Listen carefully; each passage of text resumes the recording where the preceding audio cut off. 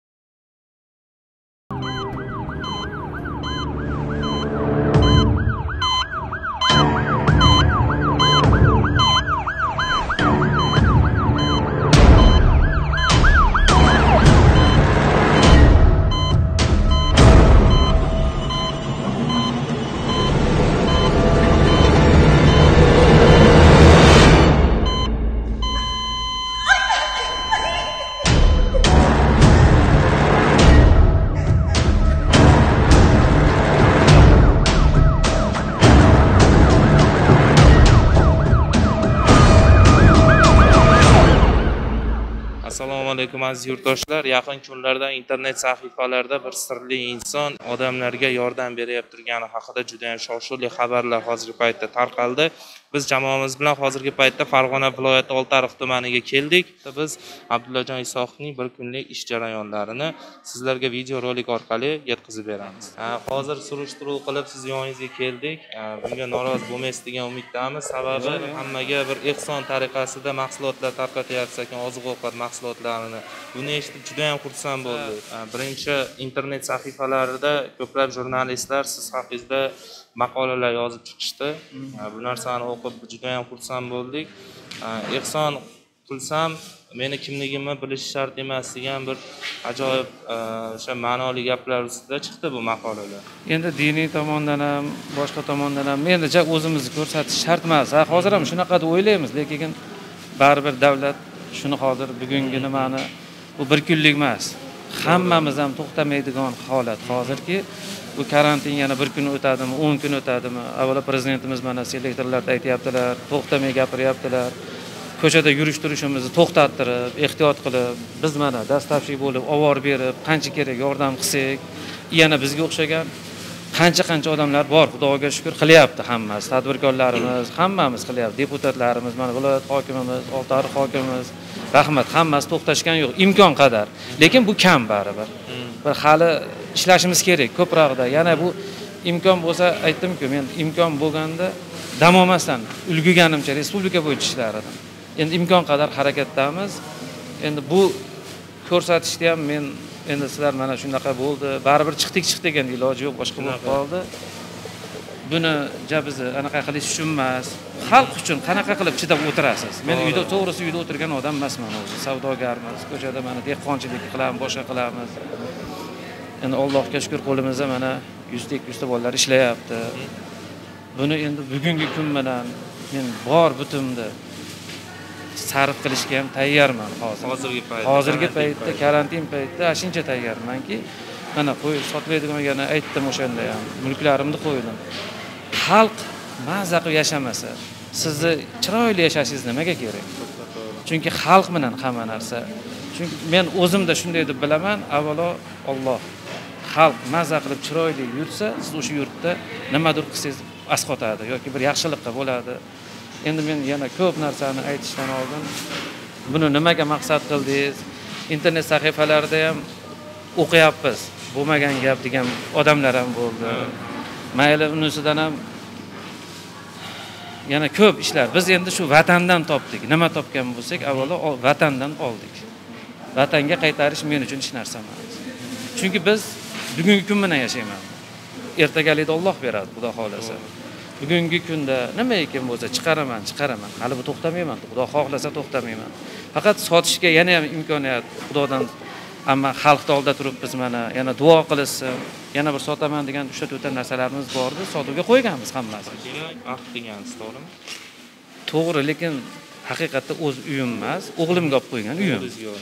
Bugun yana shunga o'xshagan mulklarimiz bor. Yo'q emas endi shu xalq- da- xalqda orqali orttirilgan mulklar. Davlatimizda shunaqa bir sharoitlarni orqasidan men bugun sarf qilsam men qornim ham oddiy xalq qatori bir to'g'ram nonga to'yaman. Ertagalligimizni rizqimizni olloh beradi. Bugun bugundan keyingi hayotimda ikki yil uch yildan shunaqa imkon qadar ishlayapmiz. Biz hayotimni o'zim uchun yashab bo'lganman xudo xohlasa hamma yo'g'im yaxshi tinchmiz. Bundan bag'ri hayotni xalqqa baxshida qildim vatanimga baxshida qilganman. Mana shu prezidentimizdan ko'p biz kuch olamiz baribir. Chiqyap turgan chiqishlaridan mana boshqa qilingan ishlaridan. Hamma ham bir kun o'tadi. Bu kun vaqtincha. Lekin prezidentimizni shu bir bo'lishimiz kerak bir yoqadan bosh chiqarishimiz kerak. Bu gaplari men uchun hamisha bir qonun bo'lib ishlaydi xudo xohlasa hamisha xalqni yo'lida mehnat qilib jonbozlik ko'rsatishga tayyormiz. Demak bu yerda hozirgi paytda eksport ham yo'lga qo'yilgan ekan bu yerda qanaqa ishlar qilinadi? Hozir biz to'g'risi bu yer manimcha холодильник bo'lsa kerak mahsulotlar mahsulot saqlash ombori mana hozir davlatimizga rahmat mana davlat sharoitidan foydalanib imkoniyat berishgan kredit olib qurganmiz bu binolarni. Ishlayapmiz allohga shukur xalqqa davlatga xizmat qilyapmiz imkon qadar. Mana hozir ish ham bizni oltiariq o'zi qishloq xo'jalikka moslanganku hamma yo'g'imiz ishchan xalq imkon qadar mana biz qishloq xo'jalik biz to'xtab qolsak ham bo'lmaydi. Ishlayapmiz mana tadbirkorlarimiz ham birga biz bilan bor mana ayollarimiz ishlayapti. Eksportga bugun ham eksportga tayyormiz hozir. Eksport jarayoni ketyapti asosan nimalar eksport qilasizlar bugun hozir limon eksport bo'lyapti. Mana bahor sezon kelib qolsa xudo xohlasa gilos o'rik uzum farqi yo'q bizga meva chevani hammasini eksport qilyapmiz xudoga shukur. Nimaiki sotish ruxsat bo'lsa oltiariqda xalq shunday xalq o'zi o'zbekistonda xalqi me- mehnatkash oltiariq ashincha dehqonchilik bilan dehqonchilik savdogar qayerga borsangiz oltiariq bor. To'g'ri. Shu vatanimizni sha'nini himoya qilib vatanimizni sha'nini osmonlarga ko'tarish uchun ishlaymiz hali xudo xohlasa. Abdulla aka mana qarangki karantin o'zbekistonda e'lon qilinganiga ham bir oy bo'ldi. Ha, hozirgi paytda karantin yana qancha surilishini hali hech kim bilmaydi. Hozir yigirmanchi aprel deb turibdi lekin kasalliklar chiqqani sayin bu narsa surilishi mumkin. Hozirgi paytda siz ehsonlar qilyapsiz oziq ovqatlarni yetkazib beryapsiz. Yana sizni zaxiralaringiz bormi oziq ovqatlarga avvalo rahmat. Bu birinchi o'rinda mana xalqimizni ham mana bozorlarda ko'chaga chiqib ketishini prezidentimiz chiqmanglar deb aytilyapti. Birinchi o'rinda xalq vahimaga tushishga hojat yo'q allohga shukur oltiariq bitta o'zbekistonda hammasini ta'minlay oladi. Avvalo mana prezidentimiz farmon berdilar. Rahmat. Har bitta xo'jaliklarda dehqonchilik boshqa. Biz mana viloyat hokimi shuhrat madaminovich oltiariq hokimimiz mana xolmirza akalar buyruq berildi xalqqa. Oltiariq mana hamma kartoshka piyoz so'zi hamma yoq ekilyapti. To'xtagani yo'q xalq. Ishlashdan ham to'xtaganimiz yo'q. Biz o'zbekistonda imkon qadar ta'minlab bera olamiz xudo xohlasa. Lekin unaqa vahimaga tushishga ham o'rin yo'q chunki hali xolodilniklarimizda skirotlarimizda ana shuncha mahsulotlarimiz bor. Mahsulotlar bir ko'rsak bo'ladimi? Och. Mana. Aziz yurtdoshlar rostdan ham e, ko'rib turganingizdek bu yerda oziq ovqat mahsulotlari sabzavot mahsulotlari aynan judayam ko'p ekan. Bu yoqqa kirishingiz mumkin. Bu yerda sabzi mahsuloti ekan a ha bulardan sabzi. Aha. tepada kartoshkalar a ilg'o bo'lmasa. Amin. amin Uzay tinch bo'lsa, umrlari uzoq bo'lsa, uzog'i yashaylar.